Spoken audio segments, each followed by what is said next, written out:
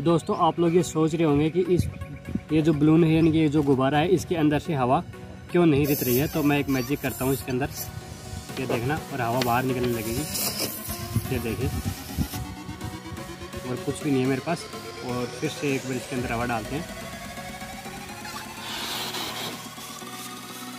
ये देखिए दोस्तों, इसके अंदर हवा डाल दी है। और फिर इसको मैंने यहाँ पे रख दिया और फिर इसके अंदर से हवा बाहर नहीं जा रही है। अब आप लोग सोच रहे होंगे कि हवा बाहर क्यों नहीं जा रही? यदि आप में से कोई भी समझ समझ पाया हो तो नीचे कमेंट करके बता देना। अगर नहीं समझ पाया हो तो मैं आपको बता देता हूँ। इधर देखिए, इसका राज यहाँ पे छुपा हुआ है। अब तो आप लोग समझ चुके होंगे और यदि आपको वीडियो पसंद आई तो लाइक कर देना और आगे ऐसी बकवास वीडियो देखने के लिए चैनल कर देना। सब्सक्राइब। Bye bye